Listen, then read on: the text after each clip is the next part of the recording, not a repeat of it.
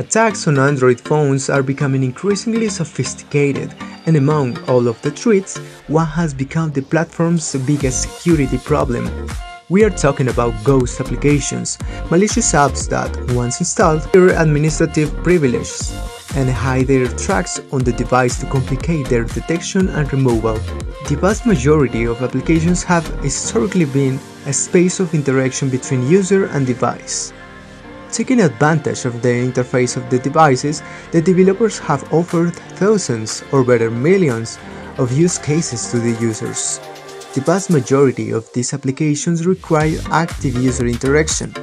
An everyday example, the Facebook application would be practically useless if the user does not open it, look at it, or add information in it. But in recent years, and especially with the arrival of the Internet of Things and Wearables, a new category has begun to make its way into the application stores. These are applications that are installed on your device, fulfill a specific function, but that very rarely interact directly with the user. These applications have been called ghost applications. The vast majority of applications that fall into this category are those used to manage or configure wearable devices. Clearly, they are not the only ones that they are possibly the least important of all.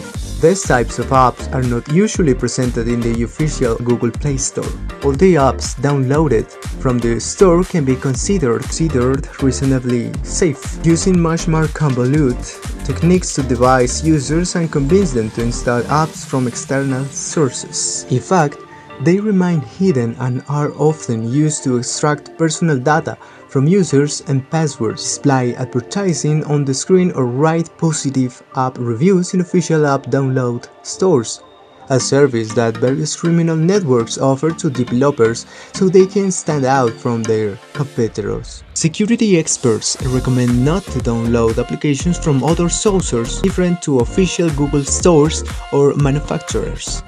Use encrypted virtual private networks VPNs when possible and always keep your device up to date.